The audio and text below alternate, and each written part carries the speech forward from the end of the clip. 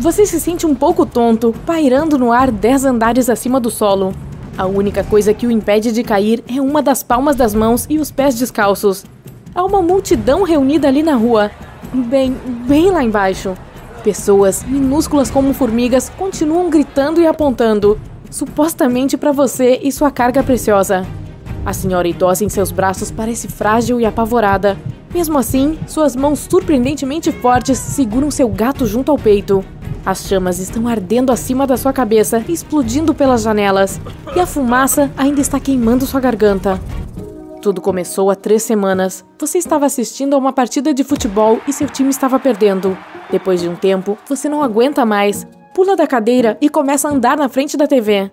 A certa altura, você fica tão agitado que bate na parede com a palma da mão aberta e você fica preso. Seus primeiros pensamentos não são muito coerentes.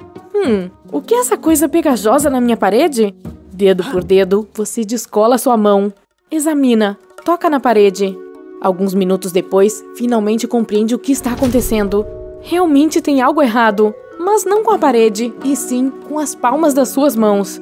Depois de muito, e eu realmente digo muito experimentar, você descobre que de alguma forma elas aderem a todos os tipos de superfícies.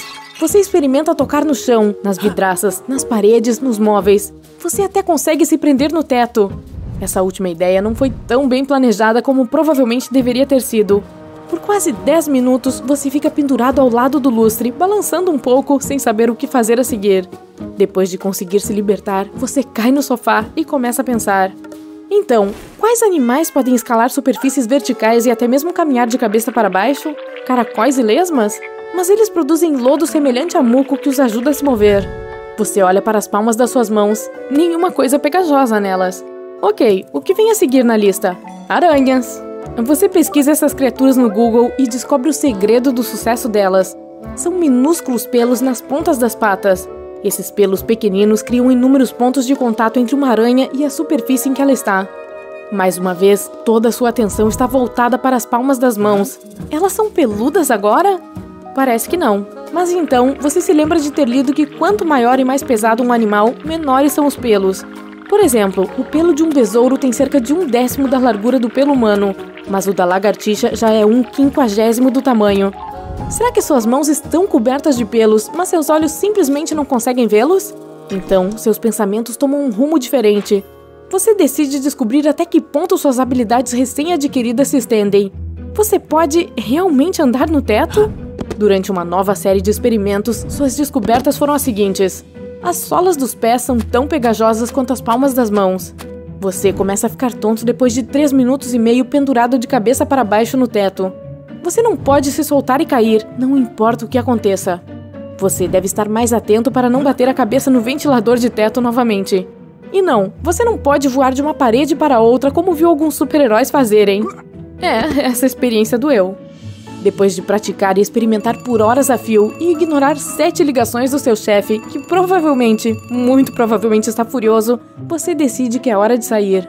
Seu apartamento fica no quarto andar, não muito alto, mas nada agradável se suas habilidades bizarras pararem de funcionar de repente. Você bebe um pouco de suco de laranja para criar coragem e abrir a janela. Os carros que circulam pela rua de repente parecem muito menores do que de manhã. Estranho, não? Você inspira e dá um passo à frente, Ufa, pelo menos não está indo em direção ao chão. Na verdade, você está firmemente preso à parede ao lado da janela. É hora de começar a se mover. Você está quase chegando ao segundo andar quando decide fazer uma pausa. E é aí que você percebe o rosto. Está pálido, com a boca bem aberta e uma emoção estranha nos olhos. Você tem certeza de que é de horror. Ah, deve ser seu vizinho de baixo. Infelizmente, você não pode lhe dizer que não há nada com o que se preocupar. O homem não vai te ouvir e suas mãos estão meio ocupadas. Você vê seu vizinho pegando o telefone. Duh, ele vai ligar para o 190?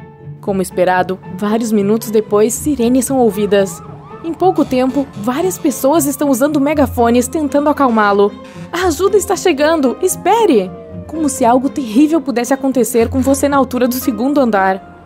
E ainda assim, logo toda essa situação se torna demais.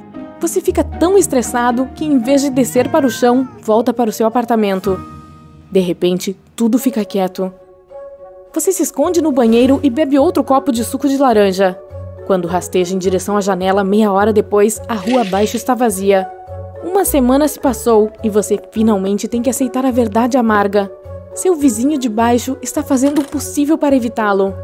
No dia após descobrir suas habilidades incomuns, você percebe que não pode adiar mais. Você tem que voltar ao trabalho. Quando chega ao escritório, seu chefe passa uma boa meia hora repreendendo você. Depois disso, está livre para lidar com uma pilha de problemas no trabalho. No final do dia, você sente como se um diplodocus tivesse mastigado e depois cuspido. Porém, a única rota de fuga está bloqueada por seu chefe conversando com um de seus colegas, e não parece que vão terminar a discussão animada tão cedo.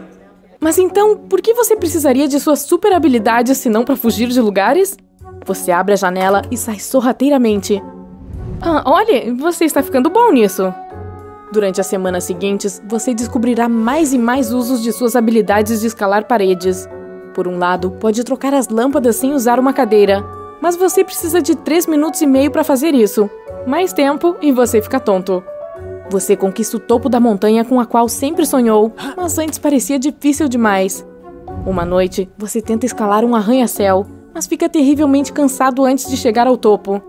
Você salva inúmeros gatinhos presos em telhados e árvores. E agora ainda tem uma história de crime para contar. Certa noite, uma gangue de assaltantes o cercou. Eles estavam tentando pegar seu dinheiro e telefone. Eles não esperavam que você escapasse escalando uma parede vertical lisa. Isso os deixou muito assustados. E então um dia, um incêndio acontece. Você está dirigindo para o trabalho quando vê chamas saindo de um apartamento no décimo andar. Dezenas de pessoas já estavam ao redor do prédio.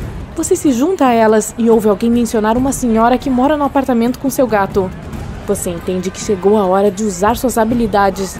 Tira os sapatos e começa a escalar a parede do prédio. Sua subida é acompanhada por gritos e aplausos. Depois de alcançar a janela necessária, você a quebra e entra com cuidado. Hoje, a sorte está ao seu lado. Por um lado, a senhora é muito pequena, não será um problema levantá-la. Melhor ainda, ela e o gato estão na sala. Milagrosamente, a mulher não exige longas explicações. Ela agarra o gato, você a agarra e no momento seguinte, vocês estão fora da janela. Você consegue chegar ao chão e a senhora é levada pelos médicos. E então você é cercado por repórteres. Uma avalanche de perguntas e flechas de câmera se seguem. Muitas pessoas registraram a sua heróica descida, então não demorou muito para você se tornar uma sensação. No início, se sente tímido e exposto, mas logo você percebe que esse tipo de popularidade pode lhe trazer um bom dinheiro. Você é convidado para vários programas de TV. Muitas empresas querem que você anuncie seus produtos, Ilusionistas e trupes de circo pedem que participe de suas apresentações. Você se torna mundialmente famoso. Seu rosto está em todas as capas de revistas. Você ganha dinheiro suficiente para viajar em jatos executivos e se hospedar nos hotéis mais caros do mundo. Mas um ano depois de começar a andar em superfícies verticais, você acorda com uma notícia. Outra pessoa ganhou a mesma habilidade. E a cada semana, mais e mais pessoas descobrem que podem andar nas paredes. Em alguns anos, essa não é mais considerada uma habilidade tão rara, e tudo que você pode fazer é lidar com o fato de não ser mais único.